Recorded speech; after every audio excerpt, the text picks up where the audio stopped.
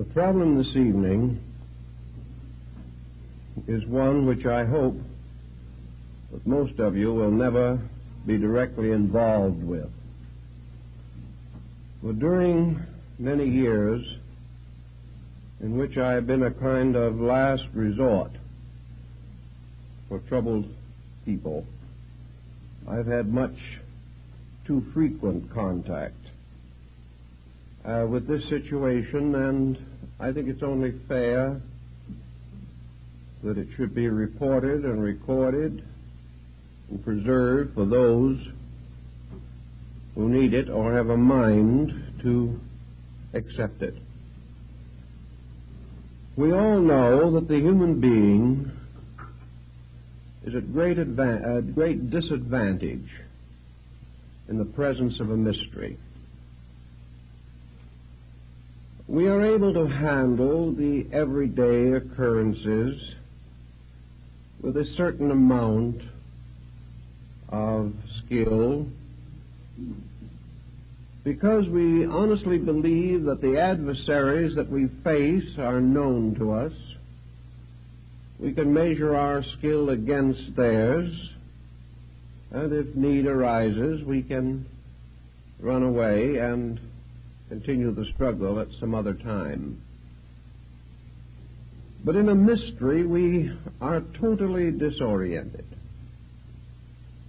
The average person cannot function too much or too often in the presence of intangible factors. Even a little mystery arising in a family can prove to be most disorienting. Secrets are dangerous things because we, we have no way of fighting them.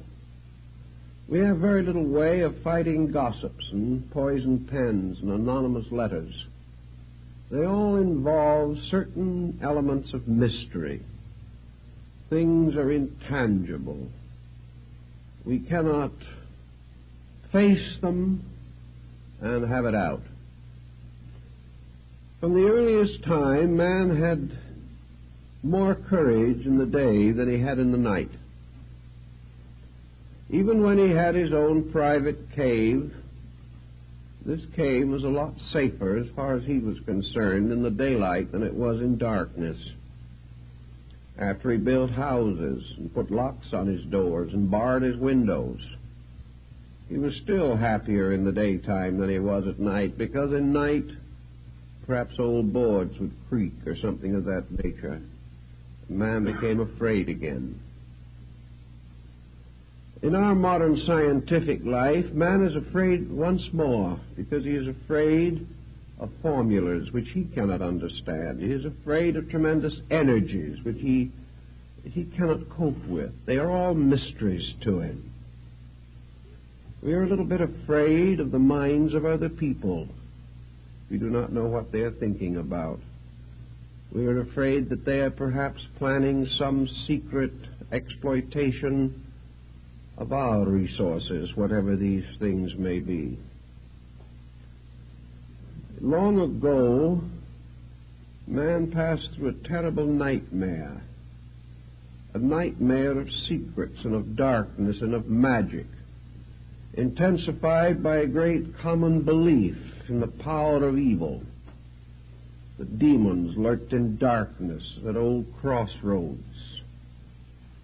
The fear of spirit possession, the fear of excommunication, of bewitchment, and all these things weighed very heavily upon some of our ancestors. They really never knew how to cope with them. They died as much of terror as of the common ailments of the flesh. So when today we observe the long shadow of mystery reaching into our private lives, uh, there is a certain anxiety. We are not able to cope with the problem effectively. And there are certain questions that I think we all must ask. It has been rather well established by ESP researchers that there are possibilities of a certain kind of clairvoyance the thought transference is very probably a reality and will sometime uh, be standardized or at least far better understood than it is now. We are more or less convinced that clairvoyance is within the reasonable probability of things, and many different extrasensory potentials are being experienced within ourselves. To a degree, these discoveries are important and useful and helpful, and perhaps they will support our basic idealism or, or our conviction that the universe is a far greater and more important place than we have ever learned that it was. But there's always this little lurking problem. So we can put it in a very simple words of one individual who spent quite a sum of money to have mental absent treatments. This individual was very anxious that a certain person that they knew should change their way of life. So they hired someone, practitioner, to go to work on the issue. And after a reasonable length of time, the object of all this attention did make some changes in their way of life including a will in favor of the individual who came to me. Well, this sounded like higher mentalism, uh, doing a pretty good job. You would get testimonials very easily for such procedures. But suddenly the person who came to me broke out in a cold sweat. Uh, this was a little problem. If they could change another individual and get a will in their favor, was it possible that some other individual could change them? While we were out mentally dominating somebody else, could it be that somebody else was trying to mentally dominate us? Do these processes work both ways?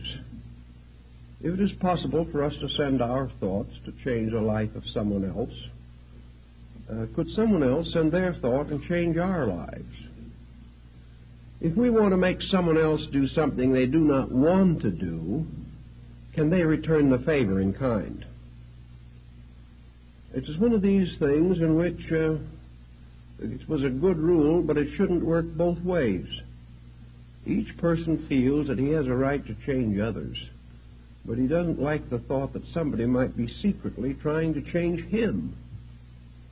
The moment we get into this problem, our freedom of action, our freedom of thought, all these things evaporate. Where will it begin? Where will it end? If one person can influence, influence us, so can 50 or a 100 or a 1,000. If one individual can cause another person to have a loss out of revenge or out of spite, can somebody else cause us to have a loss the same way? Like the old Bruja. If we can pray our enemies to death, can our enemies pray us to death? It just doesn't look so well when we open this mysterious door between the commonplace and the unusual. We step immediately into a world, first of all, a region which we know nothing about. We have no background in our own experience to cope with these intangibles. All we have to work with is a, is a tremendous tendency to fantasy in ourselves, an imagination that can get out of hand even with the commonplace, let alone the unusual, and a mind that has very little foundation in any form of essential courage or fact or reasonableness with a nature, therefore, that is lacking in most of the requirements of prudence and common sense, it is very easy to get deeper and deeper into a world of wonders that can change gradually and inevitably into a world of terrors. It is a rather dangerous situation for the person to suddenly leave behind the landmarks that he has and knows and depends upon and sail out into an uncharted ocean of mystical and occult possibilities. My experience with this type of situation is that 99 out of 100 land in shipwreck before it's over. They might be able to handle the situation with some dignity if they were very wise or very poised or very well integrated. But who ever heard of an individual very poised and very well integrated who ever got mixed up in these things? Nine tenths of the potential victims of their own foolishness in this direction are themselves neurotic. They are persons whose lives have been, in one way or another, unhappy, frustrated, pressure ridden.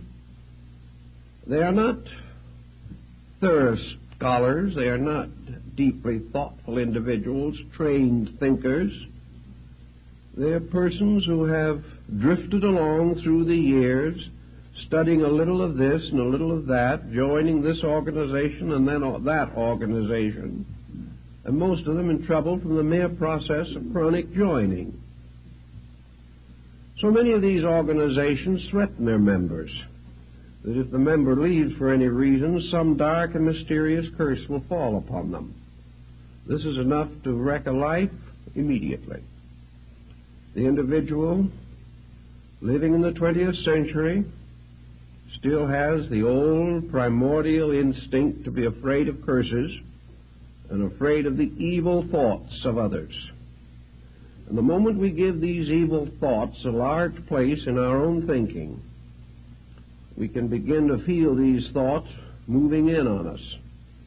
Our lives can become haunted by the mere fears that arise from negative speculations about the unknown. These speculations didn't rise as the result of certain interest in metaphysical matters. Uh, the individual would probably immediately consider the possibility that he's mentally ill.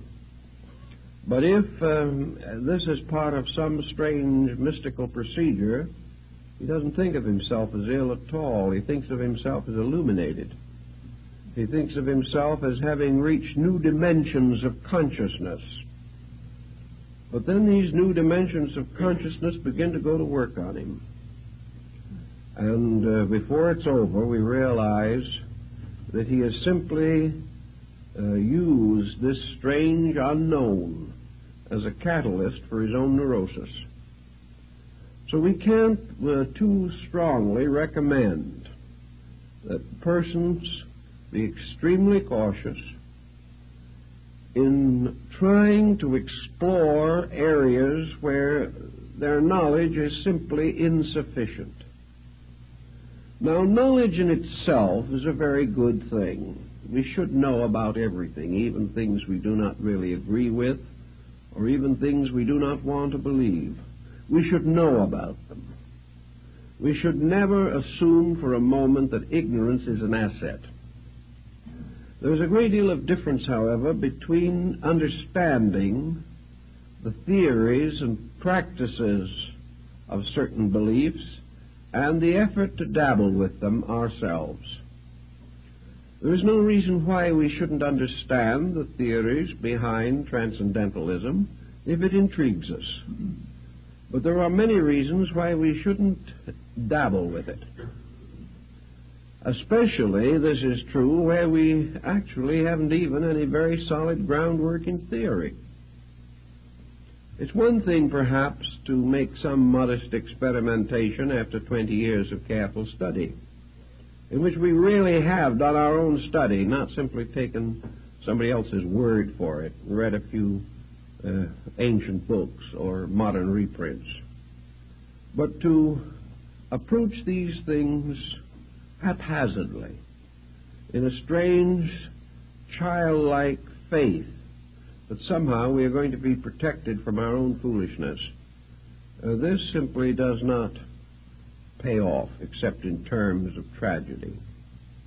Now, one thing that's not too important at this stage of our thinking is whether uh, all this weird and wonderful world is a reality or simply a psychological condition within ourselves. whether all this magic is a psychic phenomena or a psychological phenomena is not perhaps so important at this point. Regardless of which it is, it has the same effect on us. And uh, when we add to this a certain amount of coincidence, a certain amount